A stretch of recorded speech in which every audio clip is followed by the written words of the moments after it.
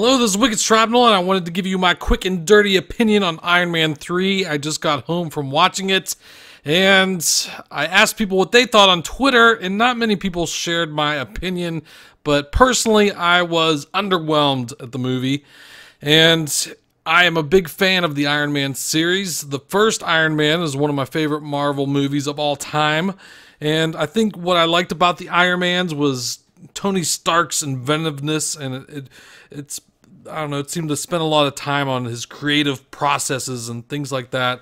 And this movie really didn't go into that too much. It was more about his own personal struggle and dealing with things that happened in the Avengers movie. And he was kind of a, a broken man, and he was set.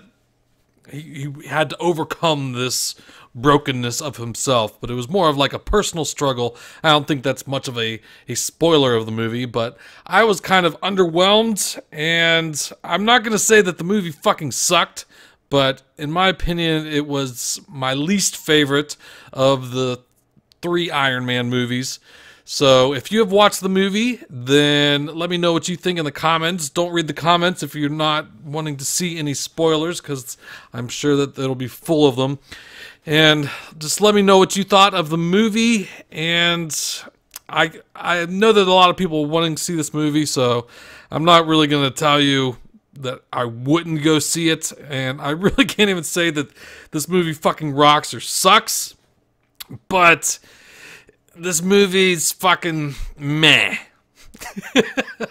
That's my opinion. It might not be a popular opinion, but that is my opinion anyway.